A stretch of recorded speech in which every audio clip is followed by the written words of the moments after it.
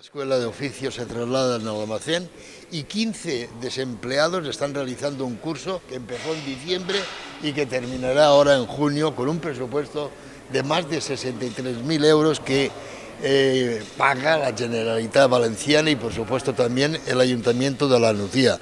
Este curso es de una utilidad enorme para la vida profesional de todas estas personas porque van a conseguir el nivel 2.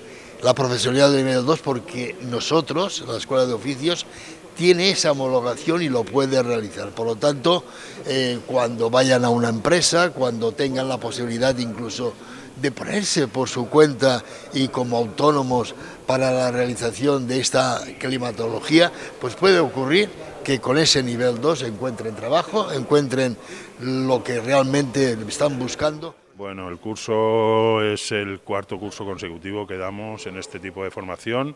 Es una formación, como os digo, en fotovoltaica que está en pleno apogeo, las leyes parece que ya se están poniendo en nuestra cara, lo que está potenciando mucho el sector.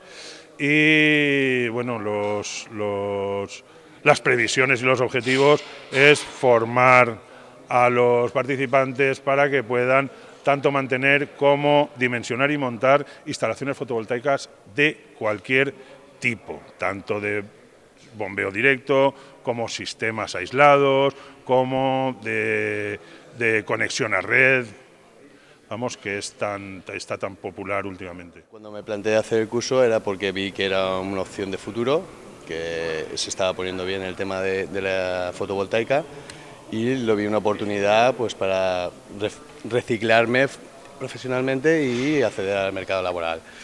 La sorpresa que ha sido cuando hemos llegado al taller y hemos visto pues que hemos contado con todo tipo de materiales, que aunque hemos hecho mucha práctica, porque necesitábamos adquirir esos conocimientos.